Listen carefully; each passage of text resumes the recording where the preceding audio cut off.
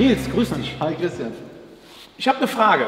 Wenn ich jetzt merke, ich habe zu wenig Wasser, Kühlflüssigkeit im Motor, im Ausgleichsbehälter, kann ich einfach nur Wasser nachfüllen? Also das sollst du eigentlich nicht tun, ähm, denn damit verdünnst du ja quasi das ganze Kühlmittel. Und dadurch kommen wieder die ganz normalen Probleme, die man hätte, wenn man mit purem Wasser fahren würde. Wir haben einfach Korrosion und das kann vielleicht im Winter dann auch gefrieren und das ganze System ähm, zerstören. Deswegen, immer wenn man nachfüllen muss, nimmt man entweder das passende Kühlmittel mit der passenden Spezifikation und mischt das mit Wasser oder wir bieten natürlich auch einen Ready-Mix an, den ich ohne zu mischen einfach so einfüllen kann.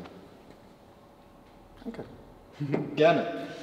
Ähm, was es dazu noch zu sagen gibt, ist, ähm, dass es eben ganz wichtig ist, immer die richtige Spezifikation zu wählen, ähm, denn die gibt der Hersteller vor, die steht vielleicht im Handbuch oder steht sogar auf der Kappe drauf und die muss man immer eben auch auf dem Kühlmittel eben finden. Also gibt es verschiedene Qualitäten der, der Kühlmittel? Auf jeden Fall gibt es verschiedene Qualitäten.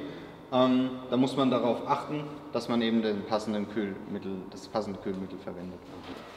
Was mich mal interessiert, muss man eigentlich genau wie bei einem Ölwechsel auch mal das Wasser wechseln? Genau. Das Wechselintervall von so einem Kühlmittel, das schreibt auch der Hersteller vor, muss man dann mal schauen in seinem Serviceheft oder eben auch bei der Inspektion weist einen die Werkstatt darauf hin, wann das Kühlmittel gewechselt wird. Ähm, das variiert natürlich von Fahrzeughersteller zu Fahrzeughersteller. Da gibt es ganz unterschiedliche Wechselintervalle oder auch Prüfintervalle, denn nicht immer gleich muss es gewechselt werden, aber man muss es einfach mal überprüfen. Das macht dann auch die Werkstatt, das macht der Fachmann, der überprüft, ob zum Beispiel der Frostschutz noch gegeben ist oder ob man es vielleicht auswechseln muss. Jedes Auto benötigt früher oder später einen Kühlmittelwechsel.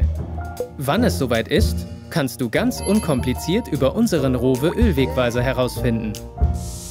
Dazu wählst du deine Automarke, dein Modell und deinen Fahrzeugtyp aus. Oder wenn du einen Fahrzeugschein hast, kannst du die entsprechende Nummer eingeben. Und schon verrät dir der Rowe Ölwegweiser, wann es Zeit ist, dein Kühlmittel zu wechseln. Ganz einfach. Aber für mich jetzt mal, wenn ich jetzt ein älteres Auto hätte, was vielleicht jetzt nicht mehr so regelmäßig auch äh, die Inspektion zu sehen bekommen hat und ich kann im Ausgleichsbehälter sehen, dass das Wasser rostig ist, dann wäre es doch eigentlich mal an der Zeit, das Wasser zu wechseln. Also spätestens, wenn du rostiges Wasser siehst, solltest du handeln und das Wasser mal austauschen.